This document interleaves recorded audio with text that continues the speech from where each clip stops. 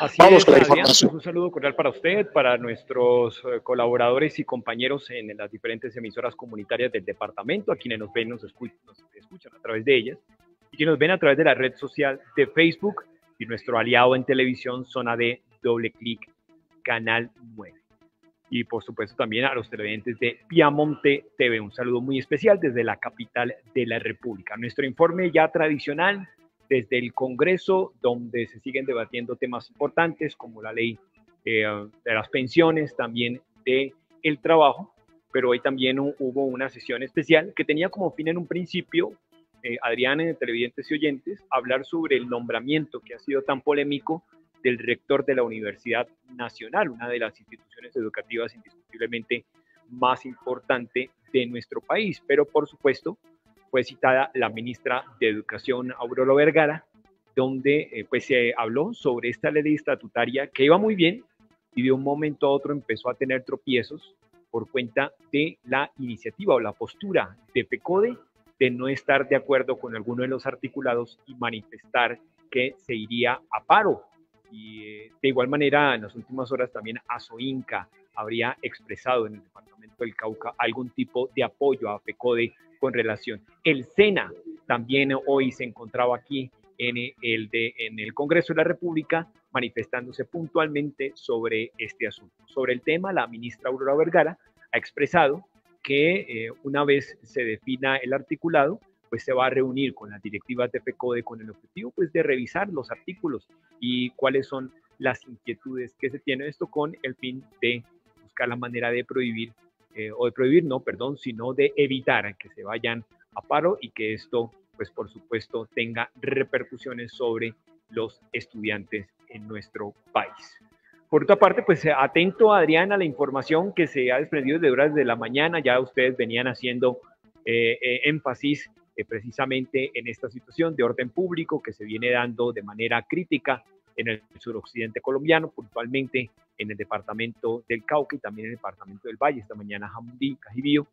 Y le quisimos preguntar precisamente a los, a los senadores sobre esta situación, el análisis que hacen y cuáles pueden ser las posibles situaciones. Estamos hablando con las dos caras de la moneda. El, el eh, senador Iván Cepeda ha llegado al gobierno del presidente Gustavo Petro también que hace parte de las mesas de, negociación precisamente, y con la senadora María Fernanda Cabal, opositora del Centro Democrático, pero que dice muchas cosas, eh, Adrián, que vale la pena analizar. Escuchemos entonces eh, este, de pronto un poco extenso análisis, pero que vale la pena escucharlo y sacar las propias conclusiones por parte de nuestra audiencia y televidentes.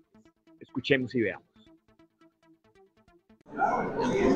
Bueno, senador, analizando la situación de Popayane el pasado viernes, donde prácticamente se eh, llega a un sitio neurálgico de la ciudad que conecta batallón, policía, aeropuerto, terminal, ¿qué lectura se le da a esa situación? Bueno, que son ataques ya indiscriminados y supremamente agresivos de estas eh, organizaciones que se hacen llamar Estado Mayor Central. Obviamente nuestro reclamo aquí es proteger la vida, en primer lugar, de la población civil, pero también de los propios miembros de fuerza pública. Esperamos que se retome en algún momento el cese al fuego, pero nuestro mayor y más enérgico rechazo a esas clases de expresiones violentas que atentan gravemente contra la vida de ciudadanos que están inermes o de la propia fuerza pública. Sin embargo, el presidente ha manifestado que lo que se debe endurecer es precisamente la acción del ejército frente a estas acciones. Sin duda.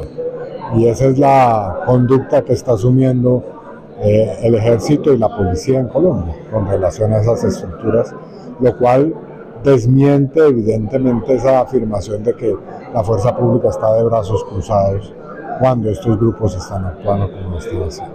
En este tipo de situaciones, senador, ¿qué puede estar fallando? ¿La inteligencia tal vez? Yo creo que estas son estructuras que se han ido fortaleciendo de tiempo atrás, no, es ahora un hecho absolutamente reciente. Han logrado ejercer ciertas formas de control del territorio y aquí lo que hay que lograr es un rechazo de toda la sociedad a esa clase de violencia. Primero que se perdió el Cauca, se perdió la seguridad, y se están perdiendo las regiones de Colombia. Y lo que más me frustra es cómo sí se logró hace muchos años que esto tuviera control y no. Y le voy a decir cuál es el pecado. El pecado es permitir 300 mil hectáreas de coca que son gasolina para la violencia. Aquí ningún grupo va a firmar nada.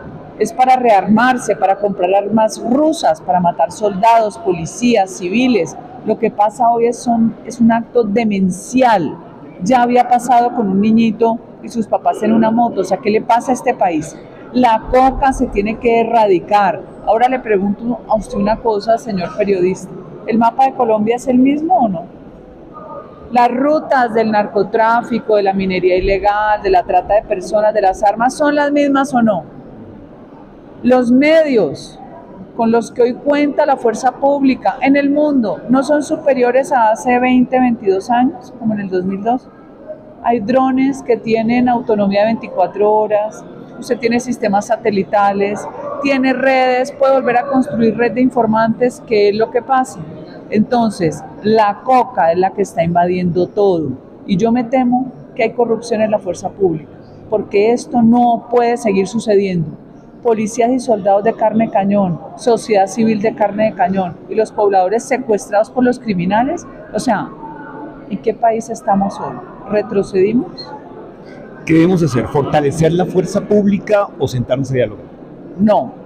Usted primero somete al delincuente, no más premios al criminal, porque el criminal sabe que el crimen paga. Y la gente buena se cansa de portarse bien.